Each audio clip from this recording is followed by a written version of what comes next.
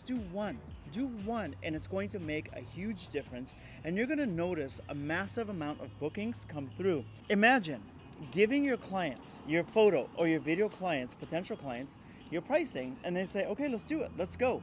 I think it's easier, way easier than what people make it to be. So I'm gonna go over four different ways that you could present your prices to your clients. You don't have to do all four. You don't even have to do three or two of them. Just do one.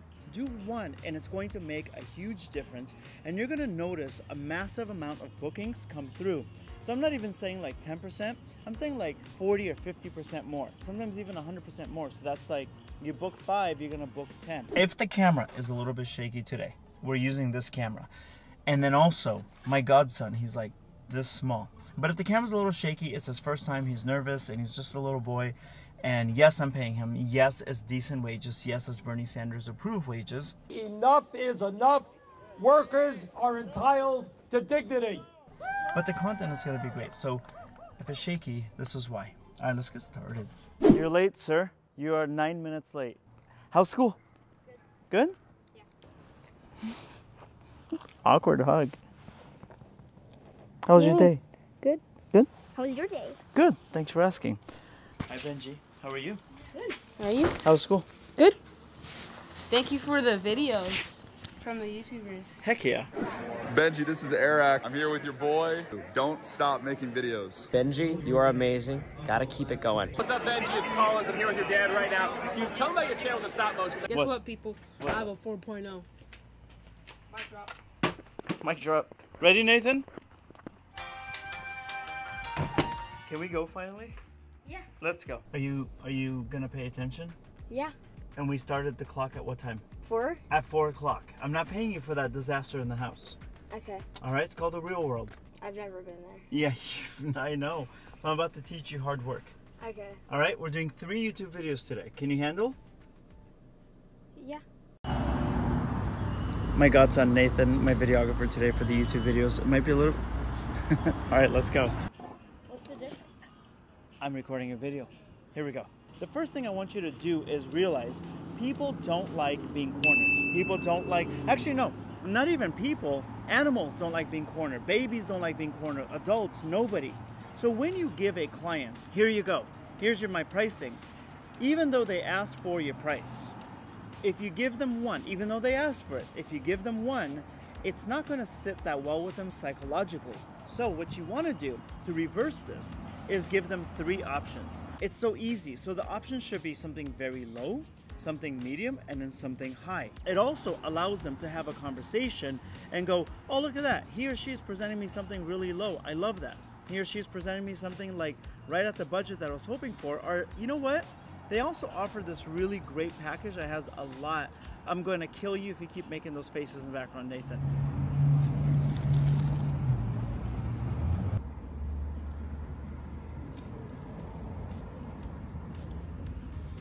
So that's the thing. When you offer three, they're gonna feel way, way, way less constricted, less cornered, and that always works for a better situation. Three options is the first tip. Let's go for a walk because it's a little bit loud. Let's do option number two that's gonna help bring your bookings up. All right, let's go. Cut. Are you seriously massaging yourself? Yeah, my arms hurt. We've done one take. I'm sorry. It hurts. They're just they they've been sore like all day because I've been running a lot. All right, let's go. Okay, three, two, one. All right, so option number two, we have to get away from the traffic over there by the Starbucks. So now we're on the side. You have to be able to really walk your clients through your pricing packages. For you and for me, it's probably really not that confusing. You're like, okay, obviously it's four hour package. Obviously it's 300 DPI. Obviously it's going to be a digital package delivery and it's going to be black and white and sepia and color. That's confusing for a lot of your clients. Or if you're doing video, this exact same thing. So there's a service that I really like. They have a free version called Loom, and of course there's a paid version too. I would just do the free one. There's something really cool about going in someone's home, going in someone's office. Once somebody trusts you inside of their house, they trust you so much more. They're willing to give you their money, they're willing to give you their trust. When you use Loom, What happens with Loom is records your desktop screen so you can put your prices on that. Then the front facing camera films you at the same time. So you could put it on like upper left or right corner, bottom left or right, and then you get to talk to them. This is what I mean by you get access into their home or you get access into their office. Now, if imagine you're sending somebody a pricing quote for a wedding, for example, they decide to open it, they decide to look at it and hear you talking, but they're sitting on their couch comfortable at home. Automatically, without them even deciding, they have decided to trust you a little bit more. Now let's go to point number three. We're gonna get some energy out of you.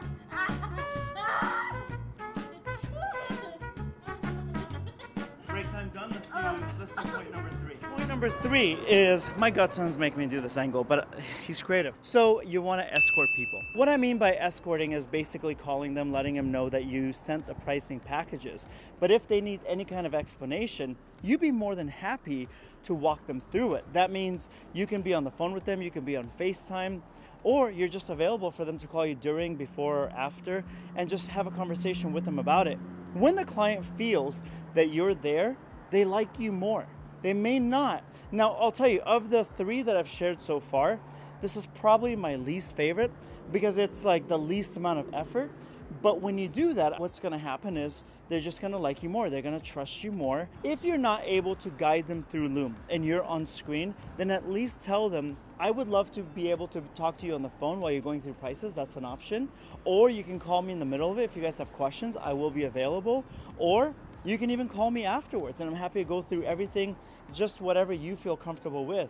Or even if you want to FaceTime, you'd be happy to talk to them and go through the pricing options with them. When the client feels, oh my gosh, this person actually is going to, okay, you're gonna hit your head. This photographer or this videographer is actually going to take care of us and walk us through every single step you got to understand that when it comes down to, uh, we're down to our favorite two people. I don't know if it's going to do this one or this one. One of them is going to say, but remember, remember, he or she was willing to get on the phone with us, willing to talk to us about everything, willing to go on FaceTime with us. That's to help you stand apart. I want you guys to stand out amongst everybody else because it's easy to get a camera, it's easy to take a picture but making sure you're at the top of the pile, that's what takes the expertise. So I hope that this helps you. Let's actually go back, get my iPad, and talk about point number four. So the fourth way that is pretty easy, that you're gonna be able to book your clients much faster and a higher, greater percentage, is that basically you are going to give them like a treasure map. And what I mean by a treasure map is a lot of times in, con in contracts, people become way too serious, way too legalese. I think that if you don't want to talk on video or you feel that this client may not want to get on the phone and they're more of a private person, what you can do is create a very easy conversational form.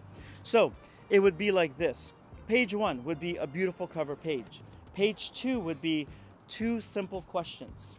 And the simple questions would be, you just got your pricing form. What does this mean? You just got your proposal. What does this mean? And then you would write it down in another way. So, what I mean really by a treasure map is that I want you to answer and ask questions for them because they may not want to get on the phone with you. They may not want to get on FaceTime. They may not want to see your Loom or you don't want to be on Loom. So, one of the things that I always say is write down the questions that they may have. Like, okay, is this my final price? Is this negotiable? Can I add to this? Can I take away from this package? Or what other questions there might be. But instead of waiting for them to ask those questions, you're going to write those questions down on the proposal, and then you're also going to write a very easy conversational answer right below it. An example of that would be okay, so this is my pricing proposal. What next? That's your question form right there. And your answer would be go through this, write down any questions you may have write down any concerns, any comments you may have, and then ask it in our phone session. It's really easy to get the client to feel that they're not alone, that they're with you, and that you care about them and that you're escorting it through them. I also think you should watch this video. It's gonna help you out with your pricing. Thank you for putting up with a shaky video. We're doing our best. Everything around us is working against us, but we pulled through, right, Nathan? Mm-hmm. How do you think, um, what was the hardest thing about running video? Are you like interviewing me? Yeah, I am. Uh, Is that a problem? No. Okay. What was the hardest thing that you're like, oh my gosh, this is actually difficult? The beginning. Yeah, right?